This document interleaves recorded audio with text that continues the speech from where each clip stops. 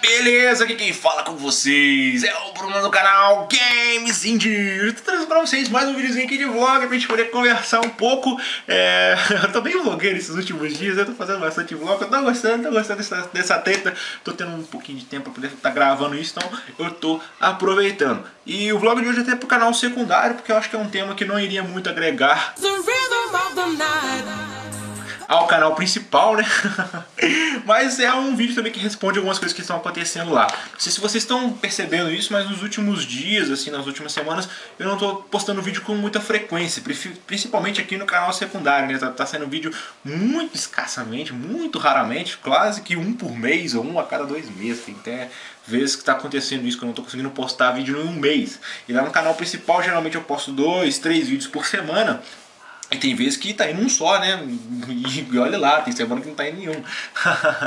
Mas é, é, é por pura e simples falta de tempo, galera. Eu, infelizmente eu não tô conseguindo arrumar tempo na minha agenda, espaço no meu, no meu dia para poder conseguir gravar os vídeos para vocês. E muito disso, vocês sabem que eu sou pai, né? Eu fiz até uma pesquisa no grupo do canal no Facebook, perguntando se o pessoal conhecia o Miguel ou não. Se você não conhece o Miguel, fique sabendo que ele é meu filho. Ele tá com seis meses de idade, tá lindo, tá gracinha, tá forte, tá fofo, tá gostoso, bom de apertar, ele tá brincando, tá, tá gatinhando praticamente, tá empoleirando nas coisas. Ele tá uma peça, velho. Eu me divirto todo dia com meu filho, todo dia tô lá grudadinho com ele, feliz, contente, alegre porque ele, ele é lindo demais, cara. Eu, eu amo demais meu filho, minha esposa também, amo demais ela, gosto demais dela. E, e isso, o Miguel agora, cara, ele tá numa fase que a gente tem que ficar muito de olho nele, cara, porque ele machuca muito fácil. Entendeu? Se a gente der um mole com ele em 5 segundos, ele pode bater a cabeça no berço, ele pode bater a cabeça aqui na cama, pode cair no chão, velho. É, tá um negocinho bem, bem complicado. Então, acaba que o meu tempo aqui dentro de casa é para poder ficar com ele, porque ele não gosta de ficar parado, ele quer sempre ficar se movendo para um lado para outro. Então, a gente tem que ficar sempre prestando atenção nele. Graças a Deus, ele não machucou nem nada, graças a Deus mesmo. É, ele tá sempre bem, tá sempre forte e tudo mais. Mas tá um bagunceiro, tá muito arteiro, velho. E o tempo que eu tinha antes para poder gravar vídeo era porque minha esposa ficava com ele e tudo mais, né? Então ela deixava, ia lá na casa da mãe dela, eu ficava aqui em casa sozinho e aproveitava para poder gravar. Porque o Miguel ele faz bastante barulho também, ele gosta de gritar, ele gosta de, de, de colocar uma música para ele poder escutar também. Eu gosto disso, ele gosta de música, velho, muito massa. então acaba que é, a gente, por ter que ficar mais tempo tomando conta dele, é, a gente acaba perdendo tempo para as coisas da gente também. A gente agora está focado nele, na criação dele, é, um, é o centro da nossa atenção no dia a dia. A gente quer cuidar do Miguel, porque ele precisa dessa atenção. Ponto. Ponto final. É isso.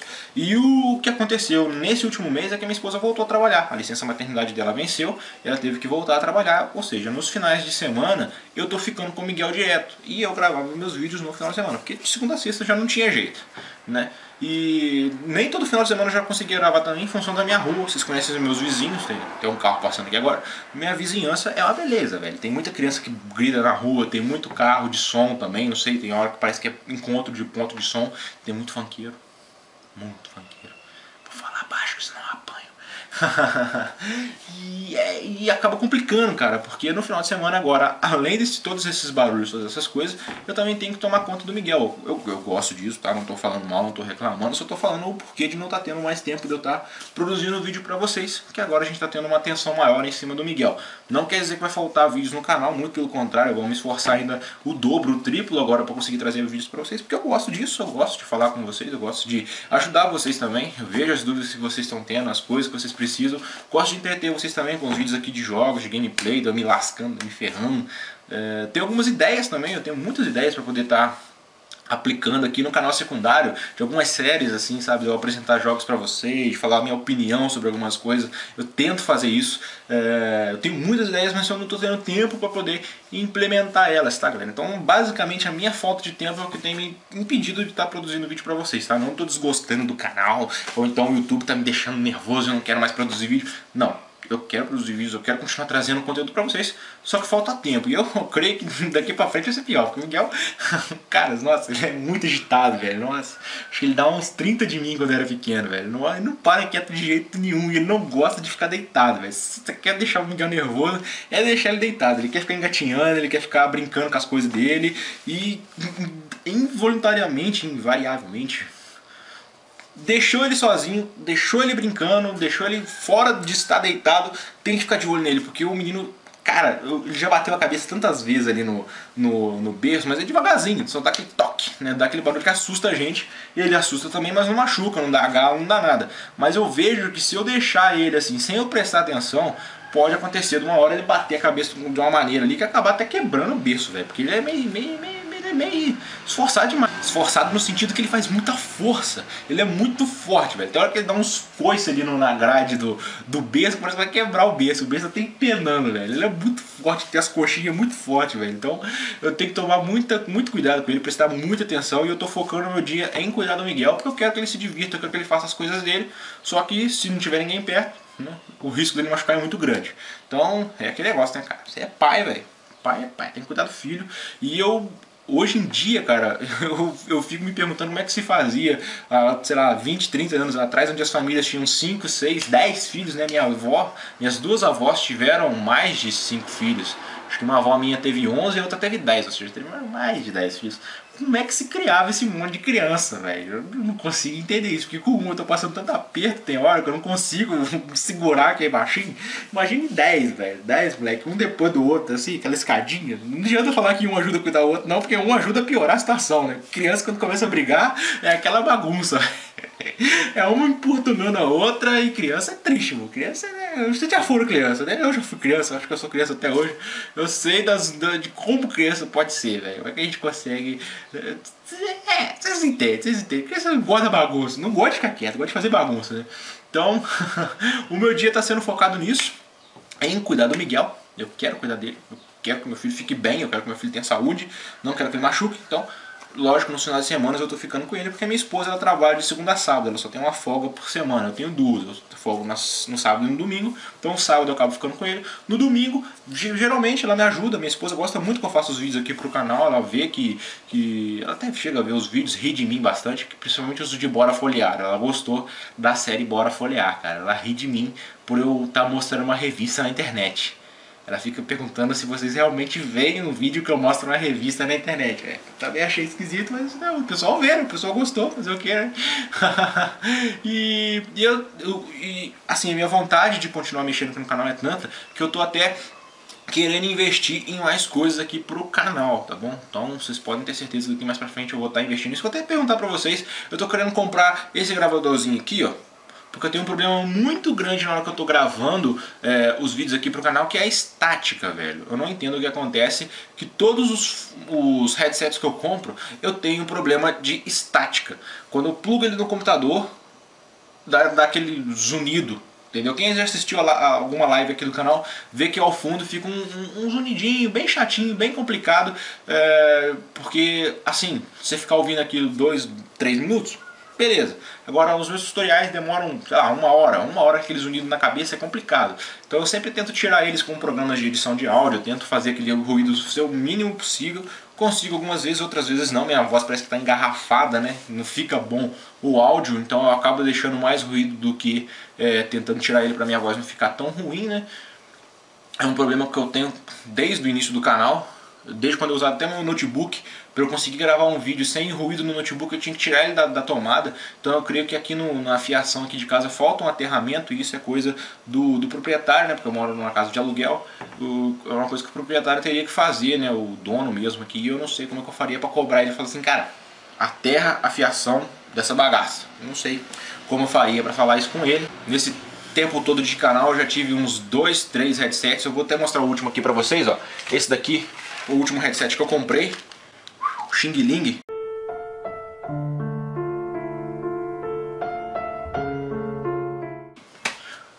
Comprei no Geo Extreme e ele é um headset USB, porque me falaram que os headsets USB, é, esse problema de, de, de estática é, diminuiria, ou então até seria resolvido, porque os outros eu usava aquele daqueles de entrada padrão do entrada de áudio, né, de gravação de áudio de um microfone ali no, no computador. E esse dava muito, mas muito, muito ruído mesmo. Deu muito ruído de, sim, demais, demais da conta.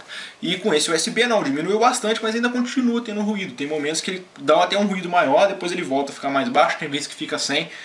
creio eu que seja realmente por causa disso. Na hora que vai acumulando estática dentro do computador, por causa da, da falta de aterramento da, da rede elétrica aqui, vai acumulando estática, ele vai começando a dar mais ruído. Eu descarrego a estática colocando o pé no chão, mas depois eu tenho que colocar o pé, eu esqueço, coloco o pé de novo no, no, chinelo, acontece qualquer outra coisa do tipo e a estática começa a acumular de novo. Acho que o meu corpo também é para isso, eu tenho alguns poderes magnéticos, magneto, me chama aí, eu te ajudo a revolucionar o mundo. É nós.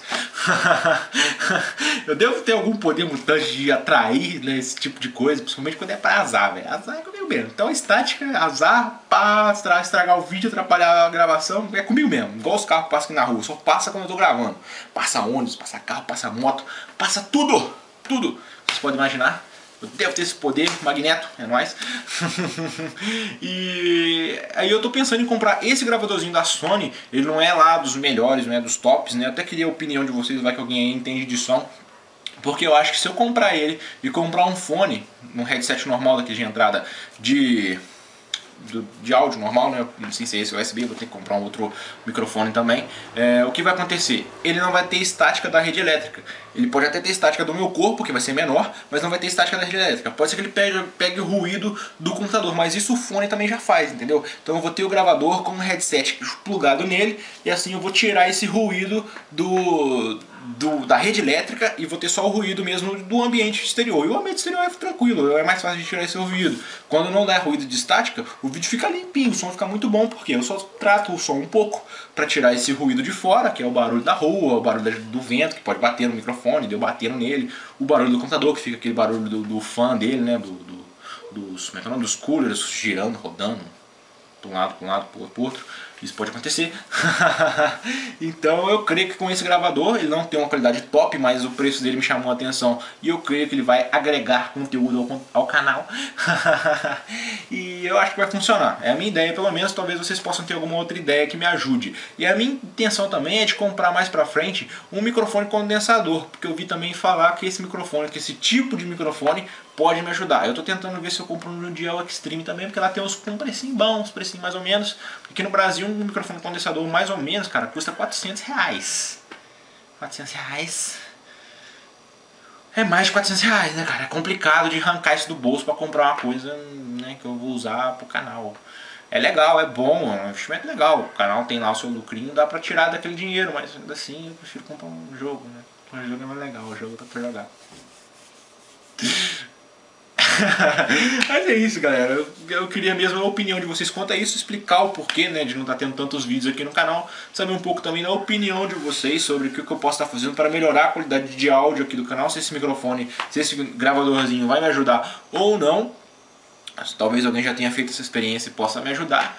E também queria saber se um microfone condensador é uma boa investida ou não aqui pro, pro canal, tá? Eles, sei lá, eu não sei como é que funciona esse trem não, só li mesmo por cima e tirei minha conclusão de que pode ser bom pro canal. Então queria também saber a opinião de vocês, tá bom, galerinha? Mas é isso, vou terminando o vídeo por aqui, agradecendo mais uma vez a atenção de vocês e até o próximo vídeo. Fui!